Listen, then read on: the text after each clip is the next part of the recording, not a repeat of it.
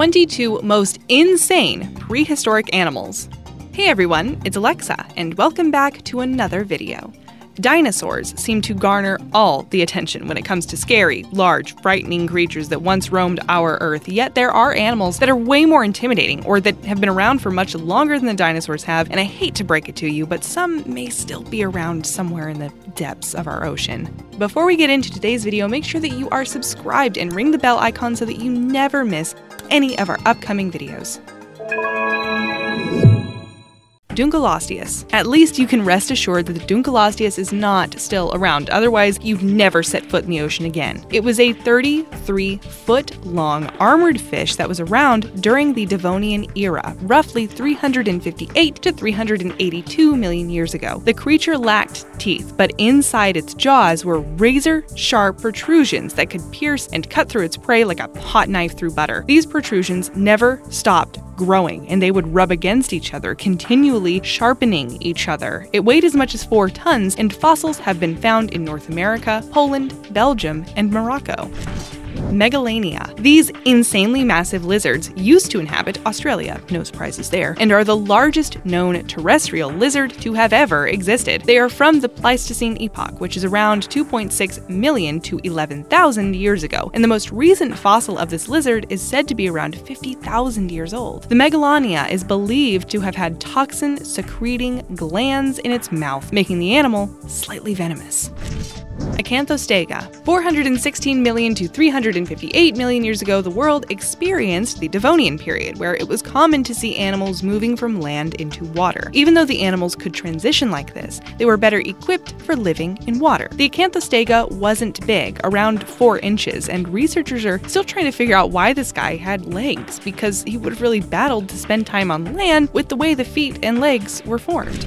Helicoprion. This crazy prehistoric animal has puzzled researchers for a very long time, and a lot of money has been invested in researching and figuring out a lot of unanswered questions. It all began with the fossilized remains of a fish, which showed a whorl of teeth. Up until 2013, that was all researchers had. Eventually, more fossils were found, confirming that the whorl took up the entire lower jaw and that there were no teeth on the top jaw at all. It is believed that it fed on soft sea life, like squid and other cephalopods cephalopods. This shark like fish was found 290 million years ago, and they were prominent to the shores of North America. Arthropleura. Let's give a silent thanks that we're not exposed to some of these creatures anymore because coming across one of these mid hike will have you running for your life. This millipede was eight and a half feet long and it was around during the Carboniferous era, dating back 359 to 299 million years ago. Despite its scary looks, they were herbivores and fed on dead plant matter. Fossil trackways prove that this creature could move at rapid speeds and is considered one of the largest invertebrates invertebrates that ever existed. Titanoboa. These gigantic beasts roamed the Earth 60 million years ago. It's officially the largest snake that ever lived and reached lengths of up to 50 feet. These snakes were some of the first creatures to emerge after the dinosaurs were all wiped out, and that was a few million years later. Prey was constricted before being swallowed, and they inhabited hot, humid climates. Anzu. The name is derived from ancient Akkadian mythology and is a reference to the feathered demon Anzu. These unusual specimens were on Earth 66 million years ago and were prevalent in what is now South Dakota. They were 11 feet from beak to tail and were omnivores. They would likely have been around the same time as the T Rex, ankylosaurs, and Triceratops. Not too much is known about this relatively new species, even though there has been a mounted skeleton of the creature at the Smithsonian Museum in Pittsburgh for years. It was just referred to as quote unquote that Oviraptorosaur from the late Cretaceous of North America. At least he has a name now the Liopleurodon. This beast has researchers somewhat undecided as to their actual length. Some believe they were 50 feet, while others go for a more reserved figure of 20 feet. Either way, one fifth of the animal was made up of its head alone, and inside that rather large head was a mouthful of rather large teeth. And even the 20 footed version could eat a man whole. Although not incredibly fast, these agile swimmers would attack in a similar fashion to crocodiles and were around during Middle Jurassic period, approximately 160 million to 150 million years ago. Pterygotus Despite its small size, well, if you had to compare it to like other prehistoric predators, the Pterygotus was an excellent hunter in shallow waters. It would lie patiently and wait for prey to go by and then quickly seize it with its claws. They roamed our planet during the early Devonian period. Dorudon. It was roughly 40 to 33 million years ago that you could spot a Dorudon in the ocean's waters, and they are a perfect example of the intermediate stage of the evolution of the whale that we know today. This whale had a pair of hind flippers and reached lengths of 16 feet. They fed on small fish and mollusks and were prevalent in the warmer shores of Pakistan, Egypt, the United States, New Zealand, and the Western Sahara. Sarcosuchus. It was 40 feet in length, and this Cretaceous era crocodile could move between land and water with absolute ease. Found in Africa and South America, this monster had 132 teeth, and he was larger than any dinosaur that lived in the same environment. And we know this because of evidence left behind of the large prey that the Sarcosuchus feasted on. Basically, he ate other dinosaurs.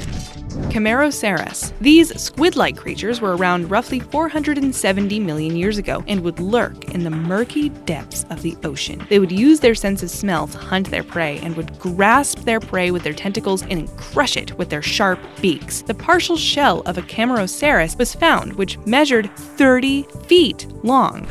Mauisaurus. Anything that is named after the Maori god Maui is bound to be massive, and the Mauisaurus certainly lived up to its name. The neck of this beast measured 49 feet. The overall length of the beast was around 66 feet, and thanks to all the vertebrae in the long neck, this animal was exceptionally flexible. They were around during the Cretaceous era, and any animal hopping into the water to avoid being eaten by like a T Rex or a velociraptor would have been subjected to this. They were believed to only exist off the coast of New Zealand. Jaekelopterus. This is basically a giant sea scorpion, and they could reach lengths of 8 feet. These prehistoric sea monsters had segmented bodies with several specialized limbs, with some sporting spikes. They lived approximately 390 million years ago and could easily snatch up fish as they swam by. One was believed to have had a single claw that was a foot and a half long. There were many smaller sea scorpions, but this one was the largest known arthropod ever discovered. Basilosaurus. This is one of the first recognized prehistoric whales and has been dubbed the king lizard. The whale was initially mistaken for a prehistoric reptile, hence the name king lizard. They used eel like movements to move in the water. At one point in time, their bones were actually used to make furniture. This was during the 18th century, so it wasn't known that they were sitting on the bones of prehistoric animals. This whale is the state fossil of Mississippi and Alabama, and they were alive around 40 million to 34 million years ago. Kronosaurus. This short necked pliosaur was 30 feet long and had teeth that were an impressive 11 inches long. They were part of the reason why it has the name Kronosaurus, named after Cronus, the king of the Greek Titans. It's believed that these giant creatures laid eggs on land like a turtle due to the shape of their flippers. These guys were around during the early Cretaceous period, and their fossils have been found off the coast of Australia and Colombia. Microraptor, weighing in at a mere 2 pounds. The Microraptor is just that, really micro. If you were to spot this creature today, you might think that it was a pigeon that came last in line when it, you know, came to looks. This feathered four-winged bird was a genuine raptor and came from the same family as the Velociraptor, although it was considerably smaller. This micro beast feasted on insects and was around 125 million to 113 million years ago. Utahraptor. No guesses as to where this prehistoric animal was originally found. It's Utah. It's been said that this guy could take down a T Rex. One of the things that set this dinosaur apart was the huge second toe on its hind legs. This was used as a weapon to tear open its prey. They were thought to roam Earth around 125 million years ago. Manta rays. Manta rays as we know them evolved around 20 million years ago, and it's crazy to think that we may still find them as big as this in our ocean. This picture is 100% real, and this gigantic ray was caught by Captain A.L. Kahn in 1933. It weighed 5,000 pounds and measured 20 feet in length. It was caught off the coast of Brielle. Over the years, the evolution of the genus Mobula meant the dangerous stinger would eventually disappear, except for the man manta ray, who has been known to put that neurotoxin covered spike directly through human limbs, so never mess around with one of these if you happen to catch one.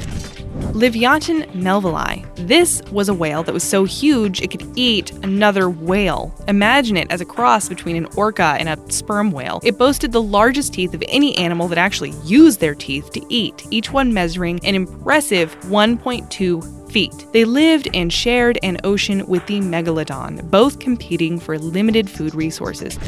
Mosasaurus. Its claim to fame was a role in the movie Jurassic World. Let us introduce you to the Mosasaurus. This prehistoric animal was able to swallow its prey whole, but that would have been far too kind to the victim. So instead, the Mosasaurus would slice his meal into bite sized pieces with their backward bending teeth and enjoy every mouthful. Research suggests that these creatures spent their entire lives in the ocean and that they gave birth to live young.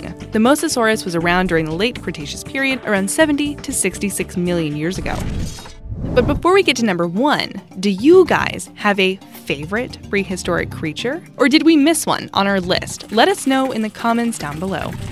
Plesiosaurs. These dinosaurs first appeared around 203 million years ago and were the main inspiration behind our infamous Nessie. When Mary Anning, a well known paleontologist, brought in fossils of one of these guys, she was accused of forgery. Fortunately, the opinions were changed very quickly.